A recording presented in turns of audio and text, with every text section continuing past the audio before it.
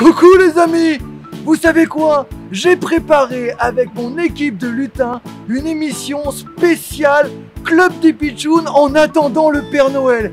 Et alors, je peux vous le dire, ils vont souffrir, Valentin, Clara, Guillaume et Pichoun. Ils seront tous à la recherche de nombreux indices disséminés dans une grande émission, dans un grand parc de loisirs. Mais ce n'est pas tout Non, non, ce n'est pas tout les enfants J'aurai le plaisir de vous offrir des tas de dessins animés spécial Noël. Alors rendez-vous le 24 au soir, mardi 24 décembre, de 20h à 22h, ho ho ho, sur